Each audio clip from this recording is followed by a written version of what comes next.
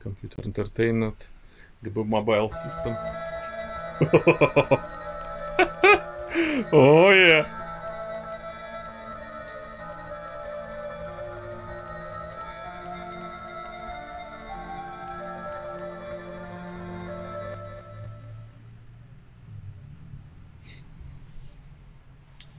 Что написано?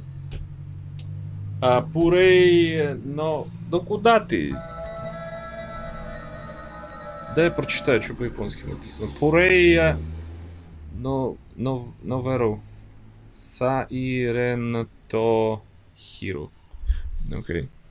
Play Novel Silent Hill. Так Silent Hill Play Novel или Play Novel Silent Hill? Как, как определиться? Что, что происходит? Digital Trading Cards здесь есть. Что? Что? 2001 год. Представляешь? Дела беда. Ну, давай. Чё? А, давай новое. Я, я, я, я, не знаю.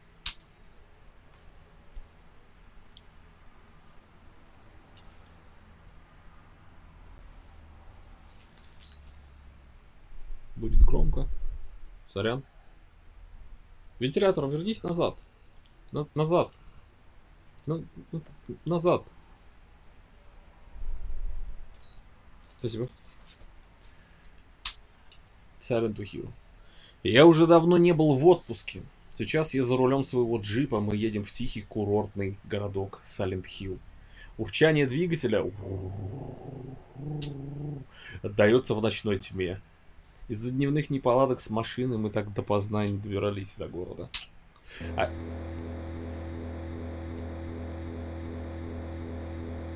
Меня зовут Гэри Мейсон. Я писатель средней руки. Закрыв глаза, Шерил мирно спит на пассажирском сидении. Шерил моя дочь. Она живая, веселая девочка. И те случайные улыбки, что она мне дарит, заставляют меня чувствовать себя счастливым. А это все время так будет? Вот это...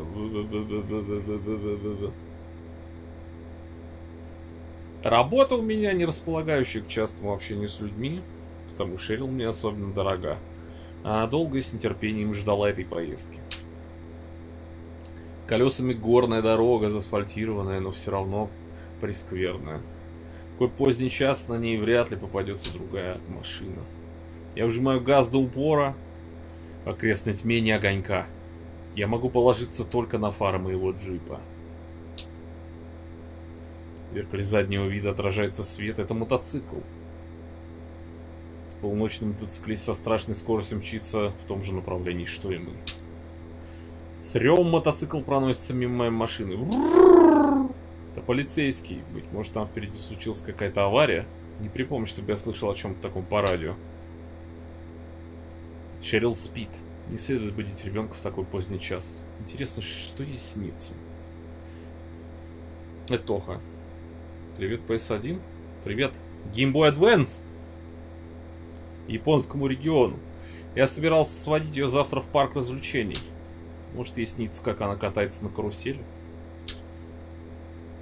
Это уже взгляд от сонного лица Шерил, снова устремляя его дорогу. Полотно дороги все течет в освещенном пятачке перед машиной. Будто его непрерывно извергает тьма. Что это? Что-то появляется в поле моего зрения.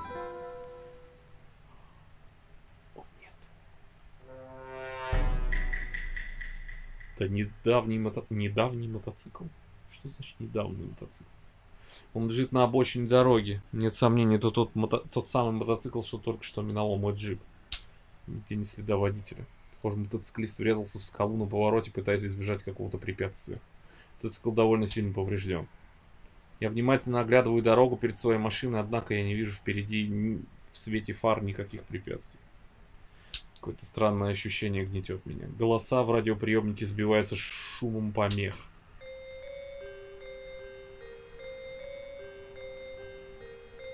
Быть может, мне следует повернуть.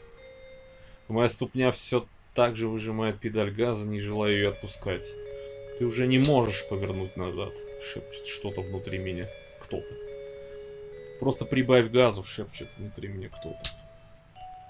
Глаза Шерил закрыты, она спит. Я знаю, что я должен бодрствовать, вести машину. Но что это за гни- гнетущее ощущение? Мне кажется, словно мое тело не совсем мое. Как будто кто-то странный. Вовсе не я управляет мною. Будто меня несет какой-то поток. Мои веки наливаются свинцом. Руки соскальзывают с рулевого колеса, словно оно само сбрасывает их, желая вести машину по собственной воле. Озноб, тяжесть во всем теле. Я погружаюсь в сон, мое сознание еще где-то на границе яви. Но мне трудно удержать его там. Е- его и там. Увидев прямо на дороге перед собой человека, я что было сил выворачиваю руль в сторону. И тогда не остается ничего, кроме меня и моего джипа. И мы несемся во тьму под скалами.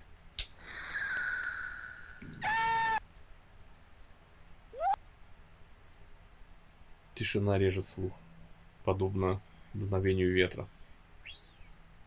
Она приносит с собой пронизывающий холод. Где?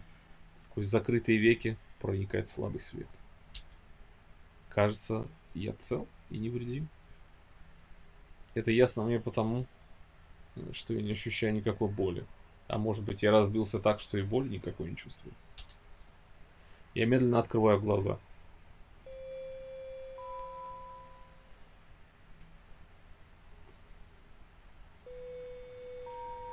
Снег не по времени года сыплется на, на город. Тишина такая, что я слышу, как снежинки ложатся на землю. Салин Хилл.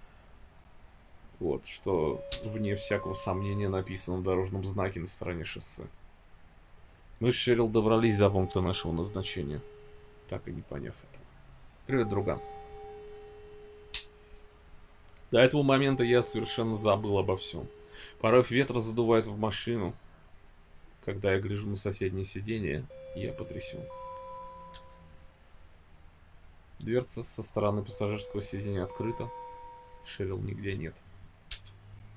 Салин Хилл. Этот город должен быть мирным курортным городком. Но сейчас он выглядит сущим городом-призраком.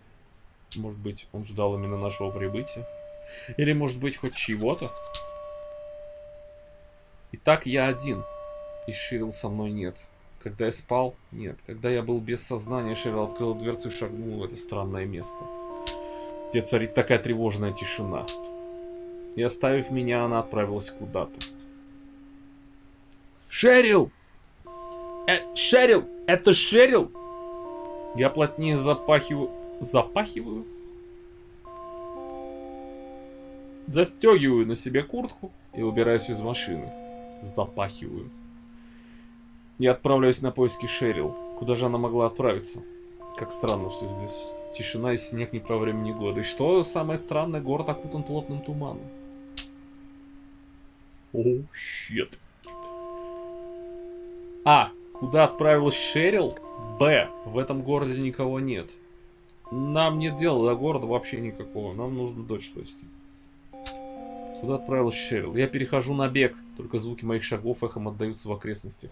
Куда же могла попасть Шерил? А, мог ли кто-то ее увести? Мысли мешаются у меня в голове, сменяя одна другую. Топ-топ-топ-топ-топ-топ. Внезапно у меня возникает чувство, что я слышу еще чьи-то шаги, помимо моих собственных. Я немедленно останавливаюсь, чтобы прислушаться. Через толстую пелену тумана я смог разглядеть человеческую фигуру. С ребенка ростом. Шерил? Это Шерил? Э, Я окликиваю ее, не, колеб... не колеблясь. Фигура не трогается с места. Когда я начинаю медленно приближаться к ней, она убегает от меня прочь. Я же, сломя голову, мчусь вслед за фигурой. Это вне всякого сомнения Шерил. Пусть ее силуэт в тумане не ясен, неразличим, я не могу никого с... спутать с моей Шерил. Однако, хоть я и бегу, что было сил, я никак не могу догнать ее. Напротив, фигур мало, помалу все удаляется от меня. Она все прибавляет скорости. Как будто и не бежит, а скользит над землей. Она словно растворяется в, э, растворяется, тает в тумане. Чтобы не потерять ее, я несусь во весь опор, пытаясь удержать фигуру в центре зрения. Только потом я замечаю, что забежал в переулок между теснящимися домами. Я не знаю как и когда это произошло. Но так или иначе, неожиданно окрестности окутывает тьма. Словно давящий свет небеса закрыли каким-то гигантским покрывалом. Вдалеке завывают сирены.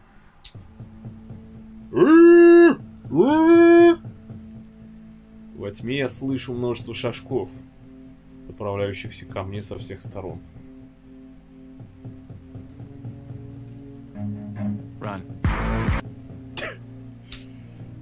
Я не знаю, кто это, надо посмотреть.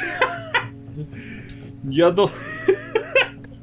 Я должен убираться отсюда, у меня нет ничего, что могло бы сгодиться в качестве оружия. Надо посмотреть, конечно же. Я... Я должен убираться отсюда. У меня нет ничего, что могло бы сгодиться в качестве оружия. Я пытаюсь убежать от них, но я не могу бежать тем же путем, каким пришел. Потому что это жуть там, у меня за спиной.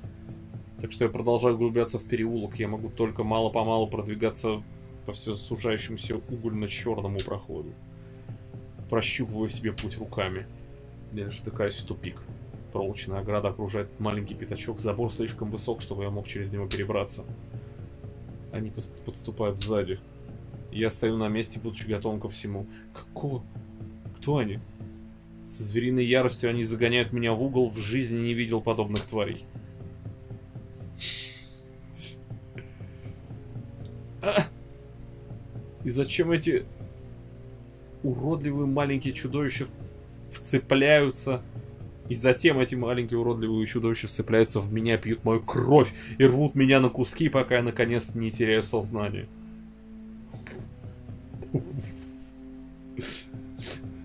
18 плюс какой-то происходит.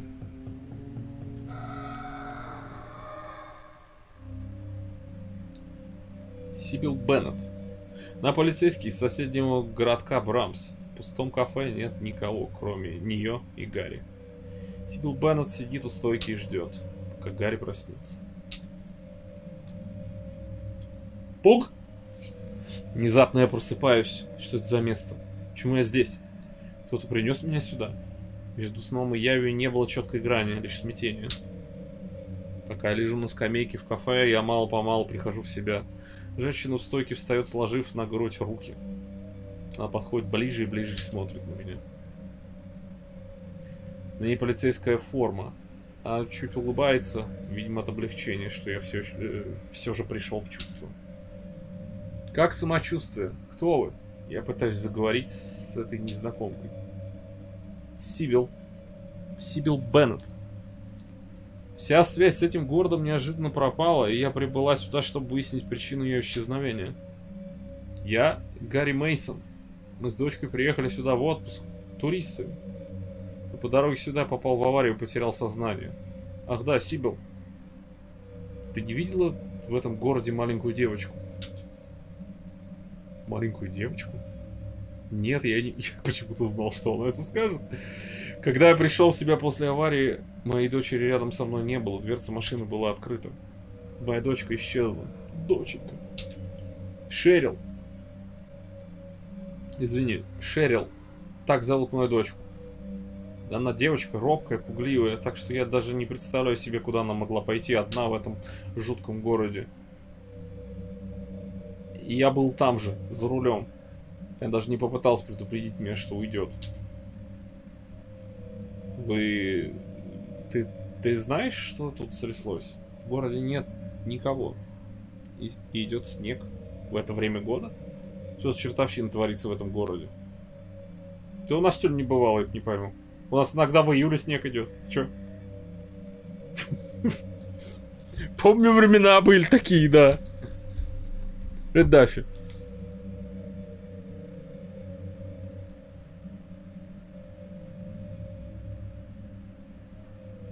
У-у!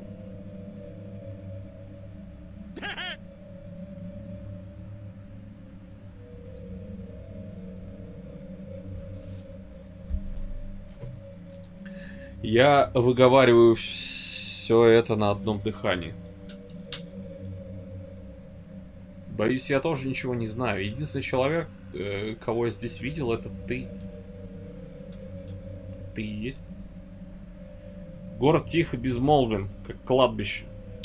Телефонная связь не работает, радио тоже. Ясно? Так ты тоже попал в аварию, так ведь? Мне пришло в голову поехать самой на мотоцикле прямо в местный полицейский участок. Ну, наверное, я ехал слишком быстро. На дорогу неожиданно выскочила девочка. Я уверена, что это была девочка. Я чуть ее не сбила. Я нажал на тормоза, чтобы не врезаться в нее. После этого я толком ничего не помню. Я пришла в себя, лежала на проезжей части перед этим кафе. И, естественно, я зашла внутрь, чтобы переждать снегопад. А внутри на этой самой скамейке спал ты. Какой-то расширенный лор какой-то. Этого не было в оригинальном Silent Hill. Ты просто просыпаешься, а она тут. Она не говорит, а как она сюда попала, ничего не говорит. Просто она здесь. У меня был какой-то кошмарный сон. Как я сюда попал, совершенно не помню. Что, черт возьми, произошло в этом городе. Что здесь творится? Ситуация здесь, безусловно, странная. Я отправляюсь назад в Брамс за подкреплением. Затем вернусь сюда. А ты как? Сибил встает, решительно отдернув воротник рубашки. Я собираюсь искать Шерил. Я ее здесь одну не оставлю. Ясно. Я отдам тебе один пистолет. Здесь э, не ровен час может что-нибудь эдакое случиться. Почувствуешь опасность, без колебания жми на курок. Мне нравится разница в сюжетах. В оригинале она ему дала пистолет и предупредила, что надеюсь, тебе не придется стрелять. Без колебаний жми на курок. Сама как... Это вот разница. Возьми вот, э, как его, возьми вот Silent Hill и возьми этот, как его, Resident Evil 7. Там, когда коп тебя в доме спасает, он тебе ножик дает перочиной, но не пистолет. Потому что какого хера полицейский должен давать тебе пистолет? Это же нелогично. Мало ли ты еще просто в ответку сразу в него выстрелишь. Что за логика-то?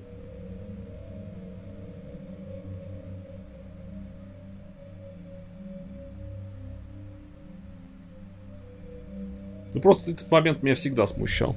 Но я понимаю, зачем они тебе пистолет вначале дают, потому что там сразу этот э, летающий демон непонятный. Холодная рифленая рукоять пистолета ложится в мою ладонь. Спасибо, надеюсь, мне не придется им воспользоваться. Спасибо, но я ничего не смыслю в оружии. То, что я только что сказал. Надеюсь, мне не придется им воспользоваться. Хорошо, когда знаешь сюжет Silent Hill. Я никогда до сих пор не держал в руках пистолета. Его необыкновенная тяжесть удивляет меня. Но ты, с тобой все будет в порядке. Я же не беззащитная девица. Я прошла специальную подготовку. Это Каири ответ на вопрос. Сибил берется за ручку двери на выходе, но остановившись, снова оборачивается ко мне. Кари, не застрели меня по ошибке. В мою подготовку не ходит умение останавливать пули. Она улыбается и исчезает в густом тумане за дверью. Шутки у тебя. Это Стоит ли мне сейчас за спину повесить чеховское ружье?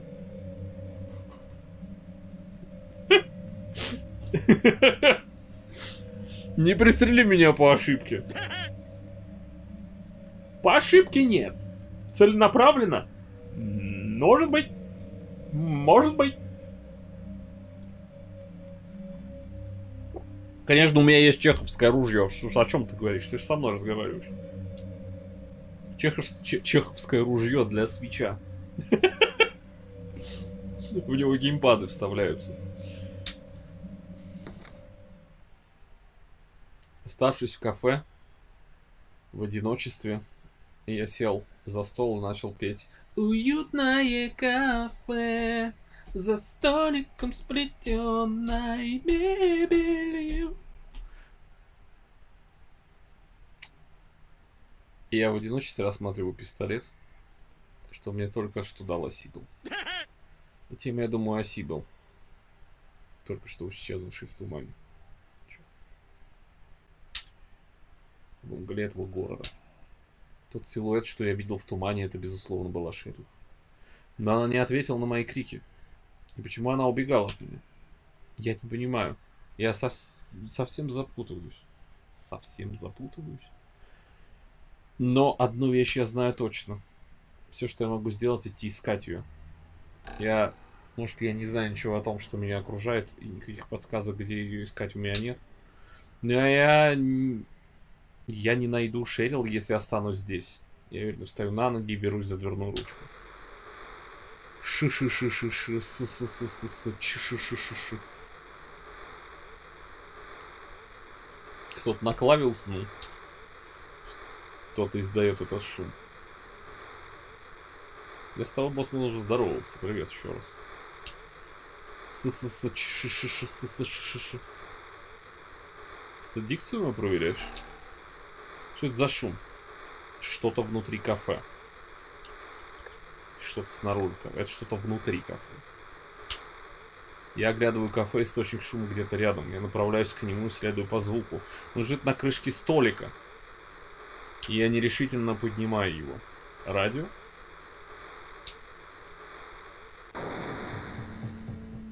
В этот момент оконное стекло с громоподобным звуком разлетается, и огромное чудовище, похожее на птицу, влетает в кафе. Нет, это не птица, это омерзительная тварь с красно-бурой, словно обожженной кожей. В его злобным бледно-зеленым глазах я читаю «Мне». Спрятаться под столом, своими неопытными руками наставить на врага пистолет, выскочить из кафе на... Стреляем. Черт, я крепко сжимаю рукоять только что полученного пистолета, быстро навожу его на тварь и нажимаю на спуск. С оружием я обращаться не умею, так что несколько выстрелов уходит в потолок. Я должен целиться из пистолета в единственное уязвимое место туловище. Крыло это собьет его на пол. Э, зачем тратить патроны на крылья, когда можно стрелять в тело? Вот именно, я должен целиться в туловище. Когда она расправляет крылья, в тот момент, когда туловище э, э, остается беззащитным, я... Она взмахивает своими огромными крыльями, целясь в меня. Острая э, кромка крыла только что миновала мою шею. Вот мой шанс целиться в туловище, бормочу себе под нос. Однако, я не могу точно прицелиться, мои руки трясутся. Лишь третья пуля пробивает грудь твари. Тварь замертво валится на пол. Как груда тряпья. Какого черта? Это не сон. Что творится с этим местом? Только звук удара кулаком по крышке стола отдается эхом в кафе. Моих ног в луже жидкости странного цвета лежит все еще теплый труп твари. Покинув кафе, я решаю отправиться в тот переулок, где я уже побывал. Других зацепок у меня нет. Чтобы забить ногой, я не уверен, что здесь есть вариант забить ногой. This is not a dream. Там это что? В небесах мелькает черный силуэт, словно вы- выглядывает на землю, на землю добычу. Радио начинает шипеть и сразу же затихает. Кажется, я начинаю понимать. Это за романтик Георгий Галец. Да-да-да. Но новеллы именно для этого и существуют. Чтобы с кем-то заромансить.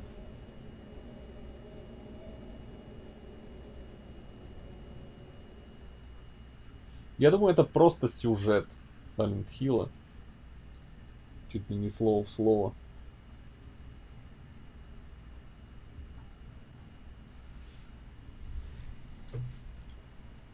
Приемник фонит.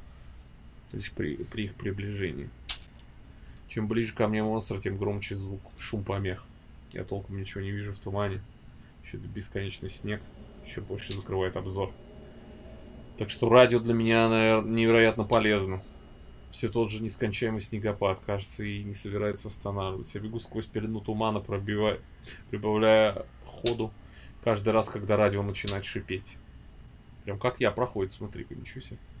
Следуя неясным воспоминаниям, наконец добираюсь до... до ветшего переулка. Памятная жуть куда-то сгинула. Это обычный переулок. В щель между домами проникает свет пополам со снегом. Я иду по переулку, пока не натыкаюсь в тупик. На земле в конце переулка я вижу знакомый альбом для рисования, видимо, выброшенный кем-то.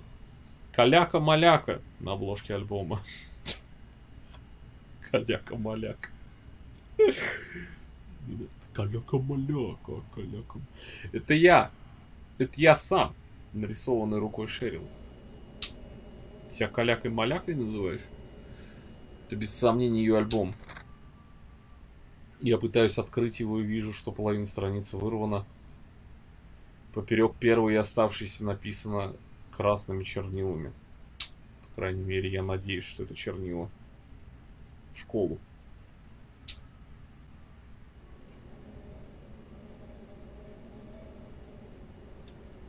По улицам Левин я пробираюсь в дом с собачьей конурой у крыльца. Открыв заднюю дверь, хожу на дорогу, ведущую в школу. На кругу постепенно снова опускается тьма. И лишь фонарик в моем нагрудном кармане освещает мне путь. Откуда он взялся -то? Здание Медведческой начальной школы выплывает из темноты. Я поднимаюсь по ступеням и приоткрываю дверь в здание. Там меня ждет по-настоящему кромешная тьма. Это самая школа из детсадского полицейского, конечно же. Это нужно упоминать каждый раз, когда я играю в Silent Hill.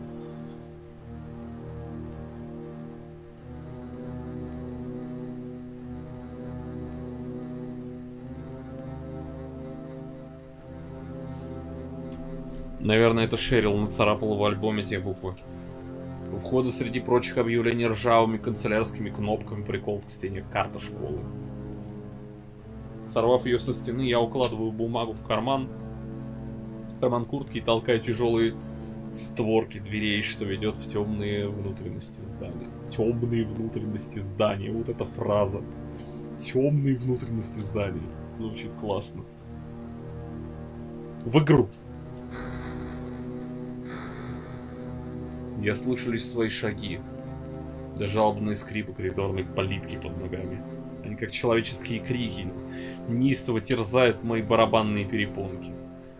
Я пытаюсь ступать осторожно, потише, чтобы не слышать их, но незаметно для себя сам перехожу на бег. Ни единой живой души, безмолвные коридоры школы теряются во тьме безмолвный коридор школы теряется во тьме. Если бы не фонарь у меня на грудном кармане, я бы не смог бы разглядеть вообще ничего. Ширил нет фонарика, если она пришла сюда и заблудилась, наверное, сидит где-то в темноте. Не в состоянии даже с места сдвинуться. Раз уж мой фонарь включен, рано или поздно, она рано или поздно должна меня увидеть. По крайней мере, у меня есть это весьма скромная надежда. Мои ноги привели меня ко входу в музыкальный класс. Я толкаю тяжелую... О, нет. О, нет. О, нет. Мы пришли в музыкальный класс. Нет! Через открытую дверь я вижу большую комнату с черным концертным роялем в центре. Дядя Вульф. Я присаживаюсь на сиденье перед роялем и тут же вскакиваю в изумлении. Сиденье еще чуть теплое как будто кто-то сидел на нем всего несколько минут назад. И тут же мне мерещится улыбка Шерил. Шерил часто играл на старом дешевом пианино, что стоял у нас дома. И неплохо получалось, и эта музыка помогала мне в работе. Неужели Шерил приходила сюда, в музыкальный класс? Я осторожно поднимаю крышку, закрывающую клавиши. Здесь и там, подтеками по черному и белому, краснеет какая-то жидкость. Я дотрагиваюсь подтеков пальцами. На ощупь это что-то теплое еще не успело. Че? На ощупь она чуть теплая, еще не успела остыть. Кровь. Не всякого сомнения. Сердце стучит в груди, как. Набат.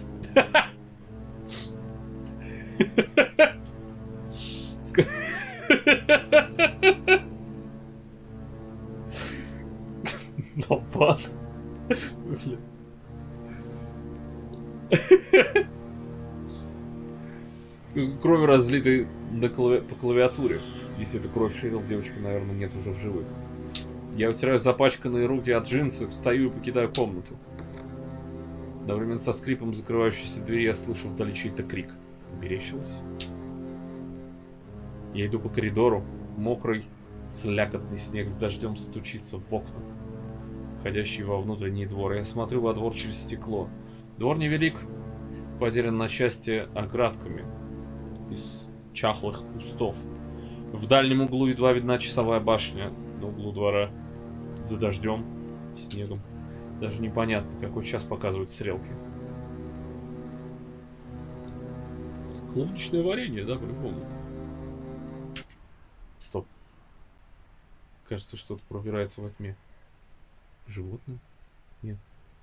Несмотря на темноту, я могу различить.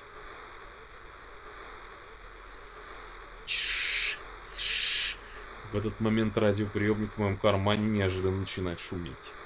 Я возвращаю взгляд во тьму коридора, и в этот момент бедро пронизывает острая боль. Я смотрю вниз и вижу, что в мое бедро впились острые когти. Маленькие уродливые монстры. Они снова пытаются обнять меня. Цепляются мне на пояс. На самом деле они хотят меня сожрать. Мне. Немедленно оттолкнуть монстра руками, вытащить пистолет и стрелять.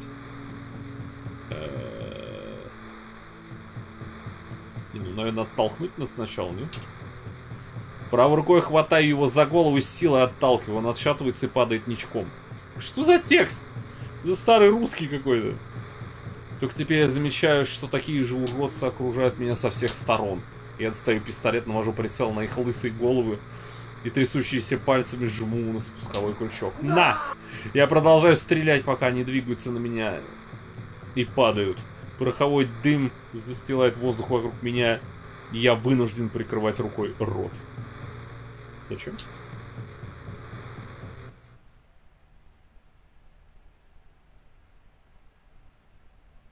Даже тогда, когда радио замолкает, я в потрясении остаюсь на месте среди трупов.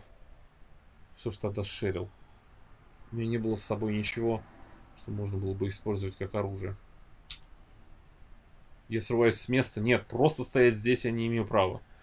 Времени у меня нет. Меня ждет Шерил. Постойте-ка. Неожиданно у меня все плывет перед глазами. Что-то вроде того. Я тру их. Когда я оглядываюсь, коридор пуст. Труп монстров исчезли. Что? Мне это привиделось? Что ли? Точка.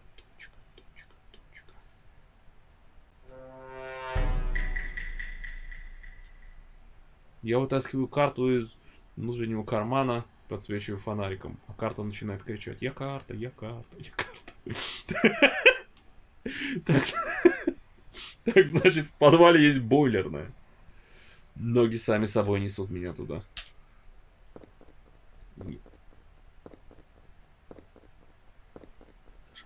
Анимацию ходьбы сделать.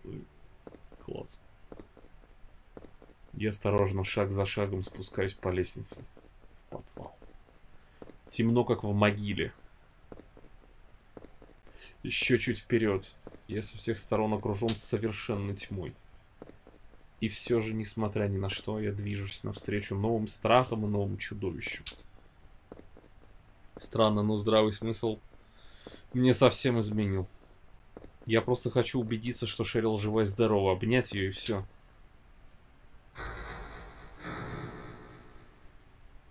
Бойлер выключен. Чтобы запустить эту жутковатую машину, достаточно нажать на выключатель. Прямо передо мной. И все же я стою в нерешимости. Нажимаю на выключатель, но с бойлером не происходит ровным счетом ничего.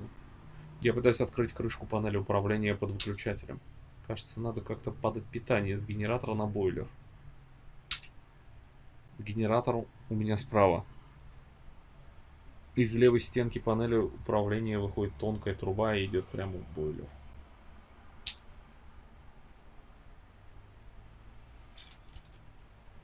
Пазлы! Есть пазлы! Чего? Я думал, это просто новелла. Вот это неожиданно. Пазлы есть. Есть курить.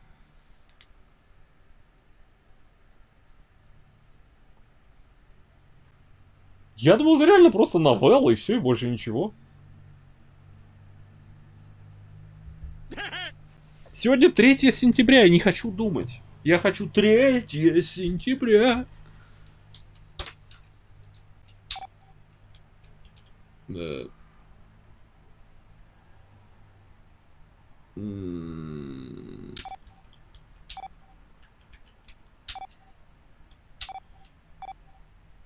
Оу.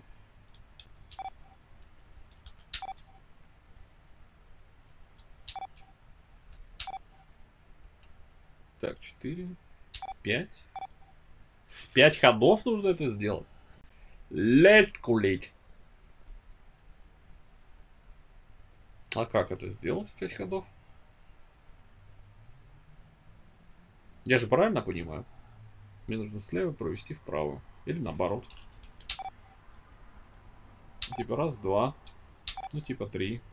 Ну, типа четыре и тупик, да? Хм. Раз. Два. Три, четыре, пять все равно, да?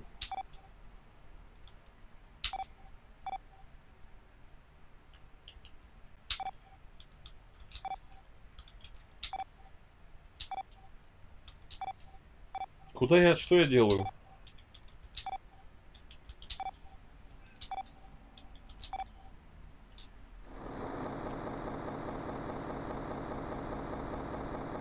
Ясно. Меня одолевает инстинктивное чувство. Но в то же время в моей душе отдается крик Шерил. Я медленно выдавливаю выключатель в панель. Все здание школы содрогается от моего «на!» Как исполинский корабль, налетевший на мель. Но для меня школа безразлична. Все прогла... поглотила фигура Шерил, стоящая в темноте далеко-далеко. Я понимаю, что должен что-то делать. В отвор. Так шепчет мне тьма. Часовая башня возвышается над школой. Еще примерно на этаж. У ее основания крошечная дверка, в которую можно пройти, лишь согнувшись в три погибели. Я говорю, это, вот этот старый русский перевод, такое ощущение, вот знаешь, вот как седьмой резидент так переводили, да? Это те же люди переводили или что? Дверца безмолвно открывается. Черный проем манит в красных труселях.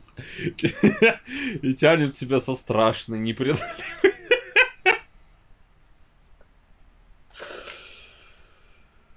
Ах. Я не могу ей противостоять. И темнота башни окутывает меня. Дверца за спиной громоподобно захлопывается, отрезая путь к отступлению. Внутри часовой башни, застоявшейся в воздухе, повисла отвратитель... отвратительнейшая вонь. Но все же улыбка любимой дочери в глубине моей души одолевает отвращение и страхи. Пусть даже лишь на мгновение.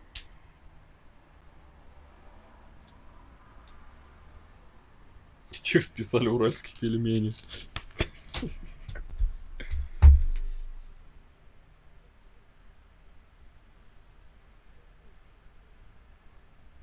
О. Приободрившись, я ставлю ногу на ступеньку лестницы, ведущую куда-то под землю. Мною движет величайшее из чувств. Любовь. Я в узком и тесном проходе, в который едва может протиснуться взрослый человек. Где там Некрайт и его шутки про бывших. Я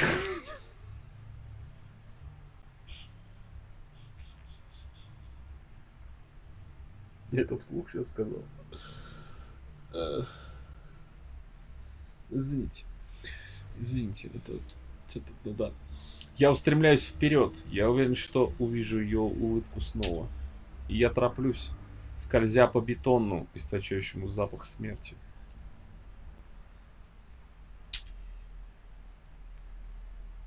Когда я... Я третьей попытки смог слово прочитать. Когда я взберусь по другой лестнице, вздерусь, взъебусь, думаю, что со слово такое? Когда я взберусь по другой лестнице в конце этого лаза, назад пути не будет. Я шепчу про себя имя Шерил. Еще раз. Угнетающий звук закрывающейся двери эхом раскатывается по двору. Где? Залезу. Залази! Сыр... Старый добрый залазий. Сырое теплое дуновение чуть касается моей щеки. Вид, открывающийся предо мной, все так же школа. Словно из другого мира. И еще раз я спускаюсь во двор по ступенькам, ведущих от дверцы часовой башни. Убеждение во мне все... Во мне все крепнет. На плитах двора изображен некий огромный символ, наводящий на мысли о религии. Двойной круг и внутри него треугольник, а внутри странный узор вроде иероглифов. Вот не припомню, чтобы раньше здесь такое было. Говорю я про себя. Это, вне всякого сомнения, та, сам, та самая школа. Та же самая школа, наверное. Где я только что был. То, как рассажены кусты. Сама архитектура здания. Однако нарастающая темнота поднимается во мне. Тошнота. Тошно... Нарастающая тошнота поднимается во мне. Чудовищная отвратительная вонь. Вроде запаха гниющей плоти, почти осязаемо плывет в воздухе, почти видимо глазу. Я бегу.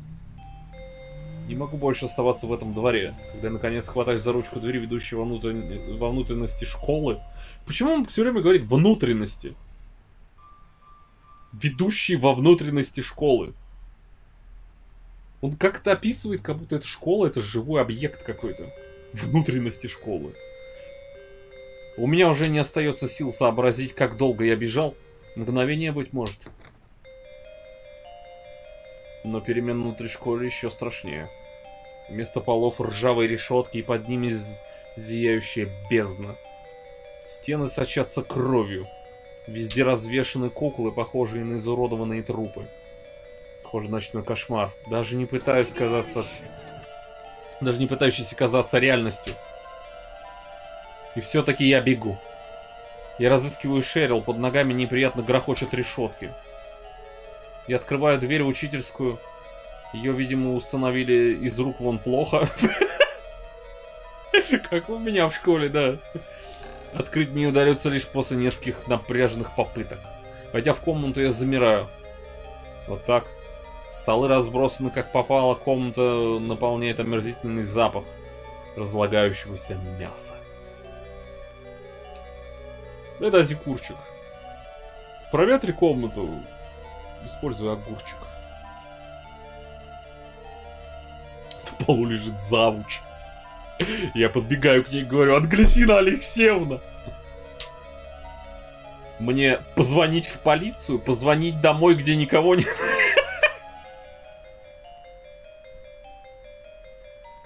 Сука, что-то слишком грустно. Давай я позвоню домой, где никого нет. Че, блин? Позвонить в полицию.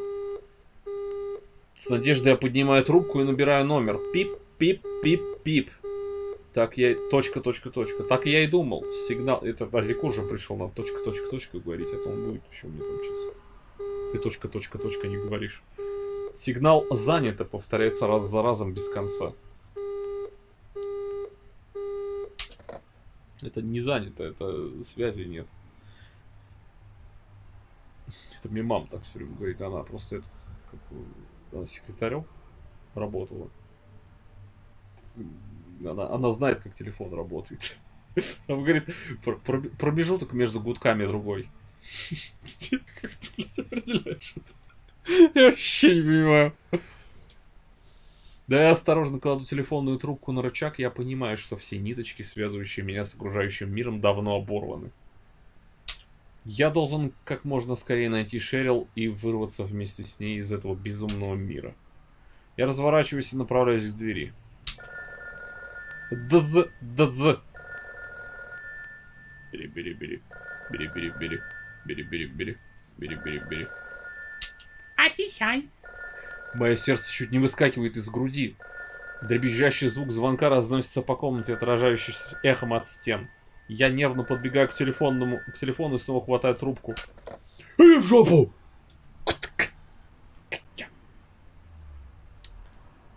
Папочка, спаси меня. Это Шерил. Этот голос. Я ни, с- я ни с чем не... Ни с чем? Этот голос я ни с чем не перепутаю. Прижимаю динамик трубки к уху. Папочка, где ты? Шерил, это ты, Шерил? В этот момент голос Шерил смеется сигналом занято.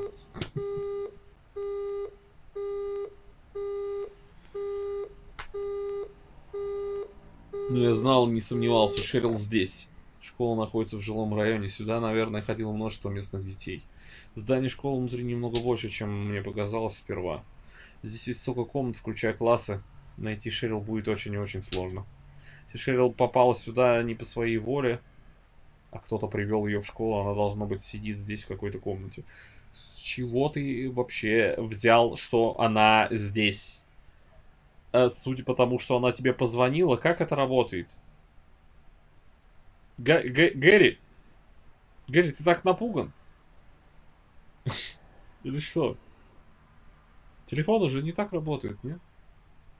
Ну, типа, ты с одного телефона на другой можешь звонить, но в школе, скорее всего, все телефоны это один и тот же номер. Нет?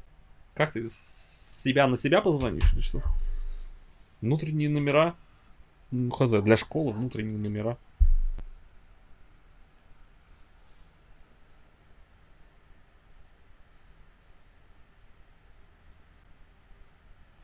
Это же двухэтажка. Нафига? Тут есть громкоговоритель у директора. Зиночка, пройдите ко мне в кабинет.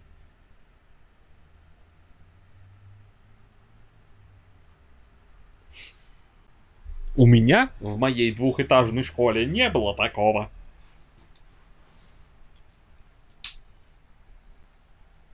Я выскакиваю в коридор, пометавшись, э, бегу к лестнице в конце коридора и залезаю на второй этаж.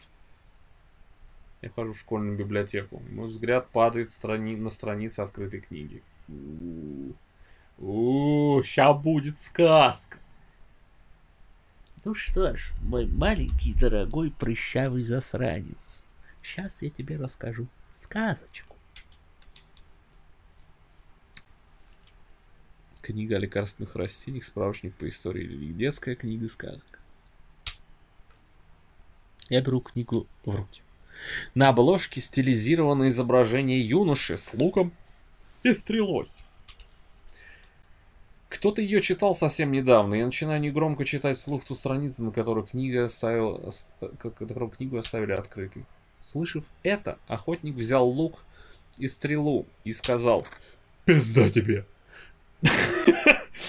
Но прежде чем вступить в бой с супостатом, он стал поодаль и закричал, дразня врага.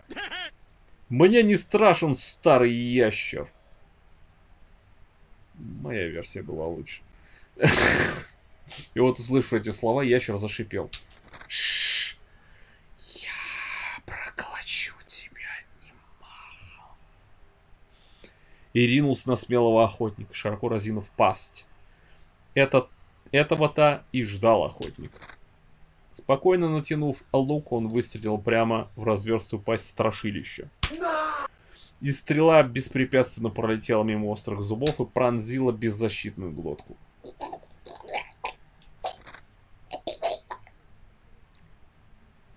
Ужасный ящер пал на землю мертв. Это из старой волшебной сказки. Помню, я ее где-то читал, когда был маленьким. Сказав это, я чуть отступаю, словно наткнувшись на что-то. Погоди-ка. Думаю. Во мне крепнет уверенность, что все это время мои действия направляются кем-то другим. Это не я. Это не я. Я совершенно случайно... Я совершенно случайно зашел в библиотеку и увидел определенную страницу в открытой книге. Что бы это ни было, я сделал это сам по себе, без чьей-либо указки. И все же... Все это я делаю под чьим-то чужим влиянием. Чат, ты плохо влияешь на нашего главного героя, ты чё? Я постепенно понимаю это. Даже сейчас я не могу сказать на передел. Кто на передел? От этого пахнет. Куда мне идти и что делать? А ты думал, со мной новеллы визуальные будет нормально читать?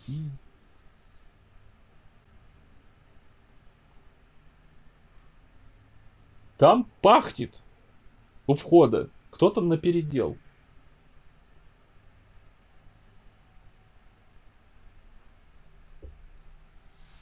Я должен принять веление этого незримого проводника и подчиниться ему. У меня нет другого пути, если я хочу найти Шерил. Да ничего, не переживай, я тебя доведу до белого коленя. Итак, я все-таки знаю, куда мне идти. Я там уже был, в бойлерной. Я с твердой уверенностью шагаю туда. На этот раз я прохожу мимо котлов и спускаюсь по лестнице туда. Откуда веет неприятно жаркий ветер. Там лифт, словно зовущий своими медленно открывающимися дверями спуститься ниже, еще ниже. Стоит мне войти, как двери закрываются. И ржаво... Ржаво... Что это за слово? Ржаво скрежеща?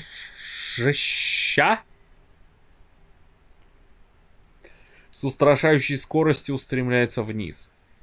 Куда? Насколько глубоко? Что это за подземелье под школой? Я могу лишь довериться своей судьбе и исследовать ей.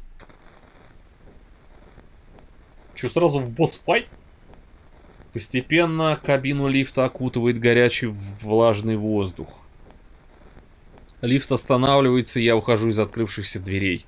За короткими коридорами, озаренная ослепительным светом комната, ждущая моего появления. В центре комнаты бушует адское пламя. Все выглядит так, словно эта комната была чьей-то молельней. И за ней находится оно. Оно медленно шагает в мареве за гигантским костром. Среди языков пламени и сыплющегося пепла. Это кажется какой-то ящер. Динозавр, что ли? Только мутировавший. Он весь покрыт какой-то гладкой, склизкой чешуей. Ящер поворачивается ко мне, поворачивает ко мне свою безглазую голову и с неожиданным проворством устремляются в атаку. Однако... Я стреляю с пистолета в мерзкую тушу. Пистолет рявкает. Огонь вырывается из дула. Пуля попадает точно в цель. Однако склизкая чешуя превосходно держит удар. Ящер даже, кажется, не заметил выстрела. Толку от пистолета нет, и это плохо. И в этот момент в памяти всплывает какое-то недавнее, но полузабытое воспоминание. Это было минуту назад, лол. Конечно же. А... Э, в библиотеке. Это было в библиотеке, в учительской были телефоны. В библиотеке. Я вспоминаю книгу, что я читал совсем недавно. Прочитанное пробегает перед моим мысленным взором. Приглядывается э, к передвижению моего противника. Я вспоминаю текст книги. И стрела, беспрепятственно пролетев мимо острых зубов, пронзила беззащитную глотку, и ужасный ящер пал на землю мертвым. Именно я должен подпустить его ближе. Так что каждая пуля без толка, рикошечащая от его чешуи, лишь прибавляет ему сил. Я бегу! Видели, как я убегал? Вся моя одежда насквозь промокла от пота. Жар костра и нервная испарина. Вместе грозят лишь меня... Чу... Что? Тихо! Жар костра! Нервная испарина! Вместе грозят лишить меня останков физической силы. Фу, я смог, я вообще прям молодец, я прочитал предложение, это было сложно. Наконец я спотыкаюсь. Пацаны. И с глухим стуком падаю на пол.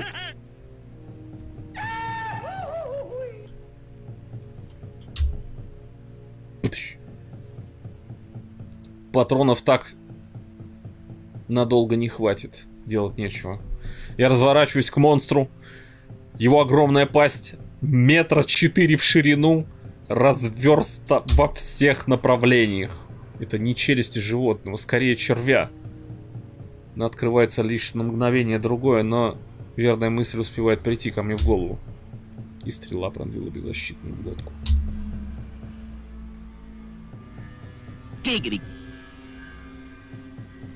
Отлично. Выстрелить в пасть, надо замедлить и выстрелить в ногу. Выстрелить в пасть. Дальше колебаться нельзя. Тщательно целюсь в, в, чернейшую прямо перед моими глазами глотку и быстро нажимаю на спусковой крючок. Раз за разом, еще и еще. Выстрелы следуют один за другим. Хватило бы патронов. У, сука, напряженно. Это какая ситуация? Ну... И затем я теряю сознание.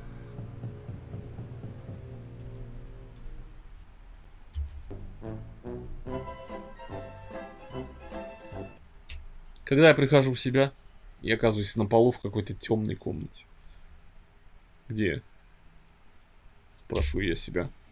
Чудовище, с которым я только что дрался, исчезло, и я с трудом поднимаюсь на ноги и стою неподвижно, пока глаза привыкают к темноте. Похоже, я как-то снова оказался в бойлерной. Здесь до странности тихо. Не приснилось ли мне все это? Я свеж и полон сил. Будто не валился недавно с ног от усталости. Странно, но негромкое гудение котлов успокаивает меня.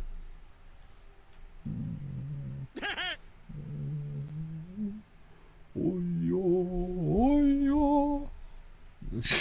Котлы так шумят. Ой-ё, ой-ё.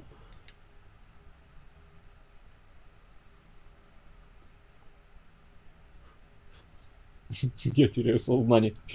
Джекпот.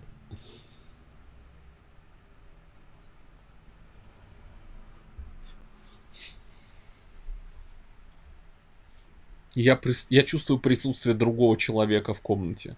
И поднимаю глаза. Гоша? Нет. В дальнем углу стоит девочка лет 14. На опрятном темно-синем платье, темные волосы аккуратно расчесаны. Что-то такое было в оригинале, что-то не помню такого. Девочка внимательно смотрит прямо на меня, но только я замечаю ее и делаю шаг в ее сторону, а тут же мгновенно исчезает, словно растаяв в воздухе. Я снова остаюсь бойлерной один. Что это было?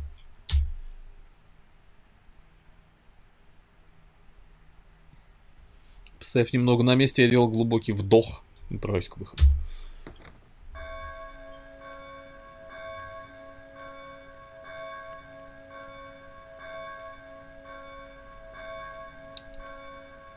Школьный вестибюль заливает солнечные лучи. Снаружи, как и прежде, снег и туман, но меня охватывает странное чувство успокоения. Будто я проснулся после операции по удалению раковой опухоли и узнал, что теперь здоров. Вау. С облегченной душой я направляюсь к выходу из здания – И затем я получаю лишнее свидетельство того, что Шерил здесь нет. Мощный звон церковных колоколов а, плывет по округе, словно зовет меня и манит меня. По развязшей мокрой дороге, по, по щиколотку в грязи, я бегу в сторону церкви. Снег падает мне на голову, леденя кожу. Холодный ветер дует в лицо. Когда я добираюсь до церкви, я без колебаний толкаю тяжелые двери. Георгия! Георгия! Э-э-э! Гоша! Напротив входа на стене огромное распятие. По обе стороны узкого прохода выстрелились длинные скамейки. Кажется, в этой старинной церкви время словно остановилось. Перед алтарем стоит немолодая женщина в сильно поношенной одежде. Кто ее поносит? Э, с, муж... с мужским галстуком. У нее галстук? Вот если ты, игра, бы мне об этом не сказал, я бы вообще никогда не узнал, что у нее галстук.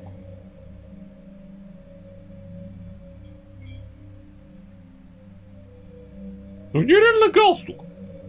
Она из Гриффиндора, да. Галстук на шее. Смотрит на меня с жутковатой ухмылкой. Пока я осторожно иду к ней через проход, она смотрит на меня немигающим взглядом. Похоже на то, что она заранее знала, что я сюда приду. Нереально галстук! Чё? Это вы били в колокол? Женщина хмыкает. Я ждала тебя. О твоем грядущем пришествии мне поведала моя геромантия. Что, прости? О чем вы говорите? Я знал, что ты придешь. Тебе нужна девочка. Тебе надо девочка. Верно? Девочка? Вы говорите о Шерил? Я потрясенно сбит с толку. Я вижу все. Вы что-то знаете, скажите мне. Стой! Женщина простирает ко мне открытую ладонь и дергает подбородком, словно желая сказать «Успокойся». Блуждая во тьме, ничего не достигнешь. Ты должен следовать предначертанным путем. Путем затворника, скрытого Флауросом. Чего? О чем вы говорите? Я спрашиваю повторно, не скрывая своего замешательства. Се есть Флаурус, безмолвная тишина. Он может сломить стены тьмы и дать отпор гневу и намирия. Эти вещи помогут тебе. Поторопись в госпиталь, пока не стало поздно. Женщина показывает мне странный предмет и осторожно кладет его на алтарь. Подождите, я... не уходите так быстро. А, поверить словам этой женщины, это какое-то это какая-то сумасшествие, я ничего не понял. Опасно бездумно верить ее словам. А ты, а ты прав. В целом-то. А ты прав. Это какая-то сумасшествие, я ничего не понял, а опасно мне верить ее словам.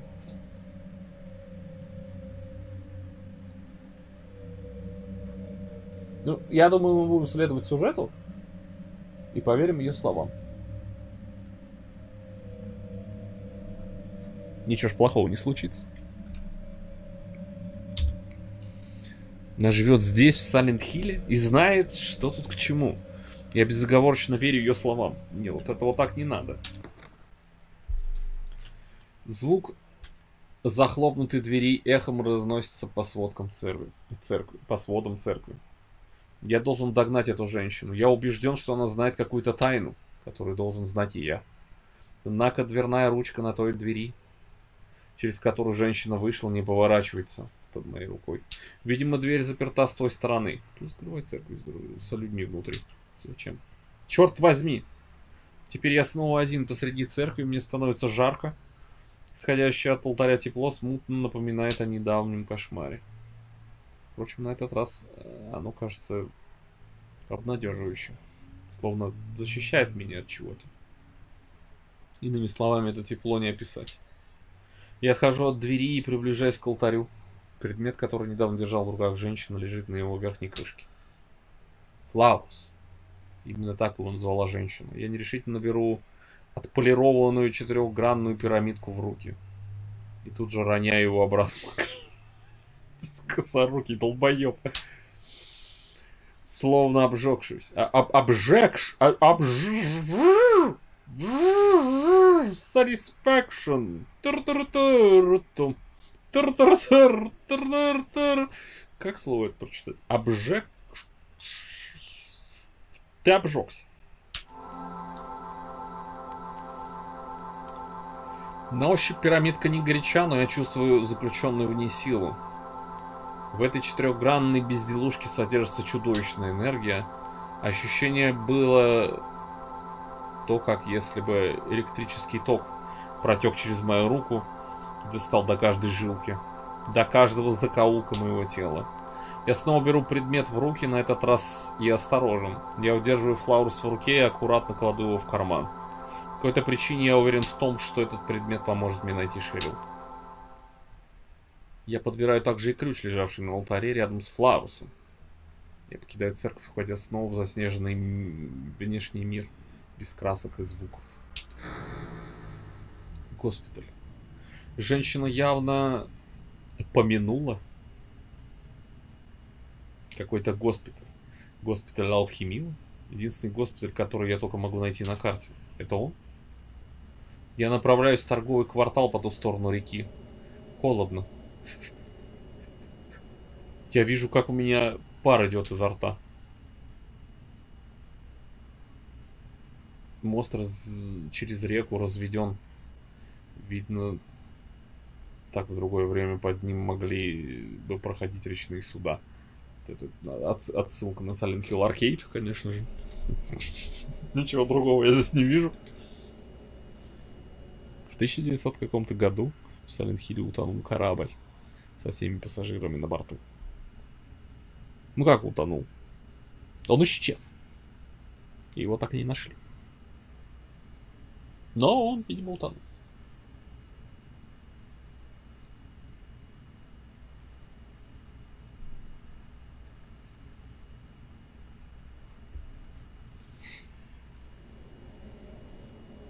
Я вхожу в рубку управления мостом, вставляю ключ в прорезь над контрольном пульте и силой поворачиваю его.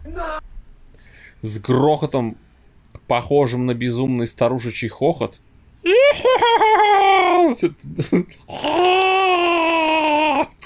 Старуха! Мост опускается, словно приглашая меня пересечь по нему реку в торговый квартал. Когда мост остается за спиной, меня начинает бить дрожь. Видимо, температура воздуха постепенно падает. А может это лишь итог моих собственных... Три... Кого? Три волнений и страхов? Что за текст это? Некоторые слова, вот они реально... Как будто кто-то писал, я не знаю... С этим как вот с тремя высшими образованиями, знаешь, и ему плюс 40. Три волнения и страхи. На, ши на широкой дороге ни единого прохожего, ни единого проезжающей машины. Я шагаю прямо посередине автострады. О, блядь, как мы в день города, да? После фейерверка. Посреди дороги. Кажется, если я пройду еще немного вперед, госпиталь Алхимила окажется сразу справа. Старое трехэтажное здание укрывается в густом тумане. На вывеске полустершаяся надпись «Алхимила». Внешний госпиталь выглядит жутковато. И я недолго колеблюсь, колеблюсь, прежде чем толкнуть холодную сталь ворот. Я открываю ворота и вхожу в дверь в правом крыле здания. Там написано «Вход». Внутри госпиталя стоит непроницаемая тишина как в морге. Слева от меня регистрационная стойка, ней стеллажные... За ней на стеллажах рассованы старые бумаги. Диванчики для ожидания жмутся в противоположной стене. К ним устремлен неработающий телевизор. Уст... Чё? К ним устремлен неработающий телевизор. Не видно и не слышно ни врачей, ни пациентов. В общем, тут ни живой души, только рассеянный свет сочится через окна с затянутым, с затянутых тучами небес. В вестибюле чувствуется слабый запах медицинского спирта. Конечно, только его-то и учуял, да? Чуть раздражающий мое обоняние. Я трогаюсь в обход по госпиталю. Кинув вестибюль, я вхожу в длинный коридор, остановившись и открываю дверь с табличкой «Смотровой кабинет». Хоба!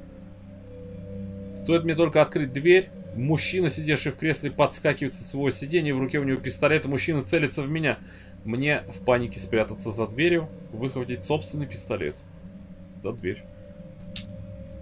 Погодите! Я машу руками, пытаясь остановить мужчину. Подождите, стойте! Не стреляйте, постойте! Я не хочу драться! Мужчина, успокоившись, опускает оружие. Меня зовут Гэри Мейсон. Я сюда в отпуск приехал. Нашел, блядь, место. Кто в Silent Hill в отпуск едет? Только персонажи Silent Hill 1 и 2, да? Вот, пускай они приехали. Наркоманы. Я сейф стоит сделал на всякий случай. То мало ли. Я сегодня в отпуск приехал. Вы, выпаливаю я единым духом? Мужчина переводит дыхание, отвечает мне. Слава богу, другой человек. Вы здесь работаете? Я чувствую воодушевление. Салент Хилл населенный лишь странными тварями. По его словам, непонятно, что, что их вижу... По его словам, понятно, что вижу их не один. Это архив... Э, господи. Привет, Артем. Архимон хотел сказать, что? Я доктор Майкл Кауфман. Работаю в этом госпитале. Так, наверное, вы можете рассказать мне, что тут происходит. Мужчина, представившийся мне доктором Кауфманом, ерзает в кресле. Знаете, не могу. Я лег чуть вздремнуть в комнате для персонала, проснулся, все стало вот так. Все куда-то, все куда-то исчезли. Снег идет. По щекам мне бьет, бьет. А в это время года. Глядит на пол.